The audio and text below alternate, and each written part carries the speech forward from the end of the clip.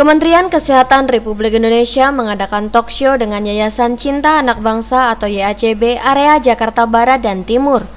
Sebagai bagian kampanye peduli kesehatan ibu 2014 di kantor Kementerian Kesehatan RI Jakarta Senin 28 April 2014. Menteri Kesehatan Republik Indonesia Dr. Nafsi Amboi SPAMPH menjelaskan kepada ibu-ibu dari IACB untuk mengatasi permasalahan meningkatnya kasus hubungan seks di luar nikah pada anak remaja. Hal yang dapat dilakukan adalah dengan memberikan pemahaman dan kesadaran terhadap anak-anak mereka baik perempuan maupun laki-laki.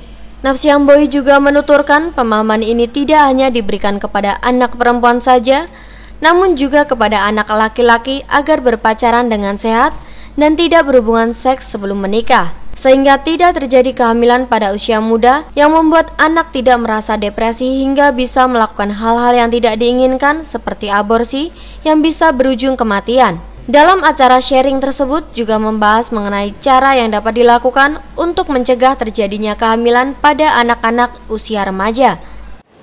Jadi yang harus kita cegah adalah tentu adalah seks sebelum menikah apalagi seks usia dini di bawah 18 tahun ke bawah itu masih anak.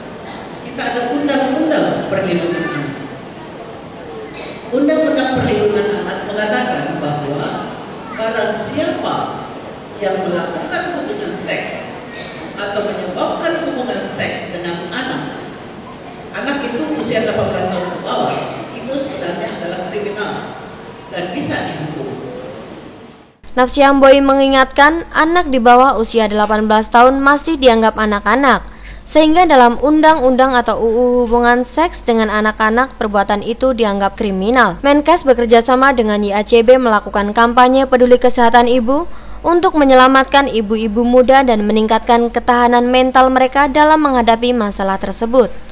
Dwi Putri TV Kesehatan melaporkan.